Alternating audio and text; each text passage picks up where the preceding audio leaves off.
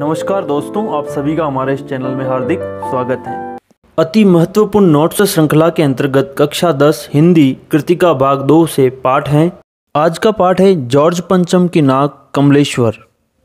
आइए लेखक परिचय देखते हैं। कमलेश्वर जी का जन्म 1932 मैनपुरी उत्तर प्रदेश में हुआ था। पुरस्कार के रूप में पद्म भूषण और साहित्य अकादमी पुरस्कार आपको मिल चुका है। नई कहानी आंदोलन के अगुआ रहे कमलेश्वर जी की प्रमुख रचनाएँ हैं। राजा निर्बंसिया खोई हुई दिशाएँ, सोलह छतों वाला घर, ज़िंदा मुर्दे, ये सारे आपके कहानी संग्रह हैं।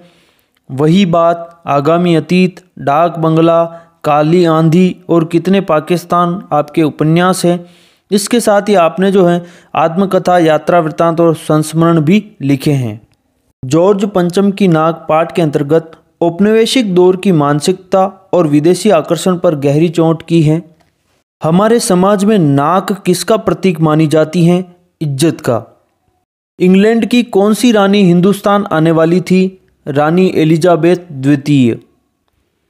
रानी एलिजाबेथ कहाँ कहाँ का दौरा करने वाली थी? हिंदुस्तान, पाकिस्तान और नेपाल। रानी ने हल्के नीले रंग का सूट बनवाया था। उस पर कितना खर्चा हुआ था? 400 पौंड। शंख इंग्लैंड में बज रहा था, गूंज हिंदुस्तान में आ रही थी, ये पंक्तियाँ जॉर्ज पंचम की नागपाट से ली गई हैं। रानी किस हवाई अड्डे पर उतरने वाली थी? पालम का हवाई अड्डा पर। वह आए हमारे घर, खुदा की रहमत, कभी हम उनको, कभी अपने घर को देखते हैं, ये कथन पाठ के अनुसार दिल्ली ने कहा था। फ़ौरन दिल्ली हाजिर होने का हुक्म किसे दिया गया? मूर्तिकार को। किस विभाग की फाइलों में मूर्ति हेतु खोजबीन की गई? पुरातत्व विभाग की फाइलों में। मैं हिंदुस्तान के हर पहाड़ पर जाऊँगा और ऐसा ही पत्थर खोज कर लाऊँगा। यहाँ पर मैं शब्द मूर्तिकार के लिए आया है। ऐसी क्या चीज़ है जो हिंदुस्तान में मिलती नहीं? हर चीज़ इस देश के गर्भ में छिपी है। ये कथन सभापति का है। मूर्तिकार के देश दौरे का क्रम क्या था? तो सबसे पहले वह दिल्ली से मुंबई गया।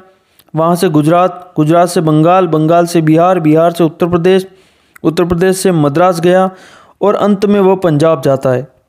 सन बयालीस में शहीद होने वाले बच्चों की मूर्तियाँ कहाँ स्थापित थी?